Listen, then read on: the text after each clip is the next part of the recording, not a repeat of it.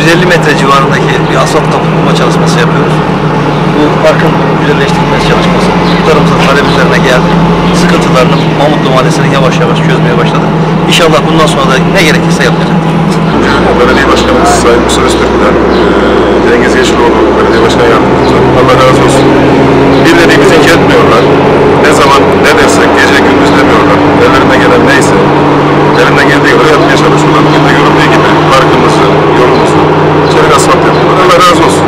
Bundan sonra devam edeceklerini söylüyorlar zaten. Elinden ne geliyorsa yapıyor.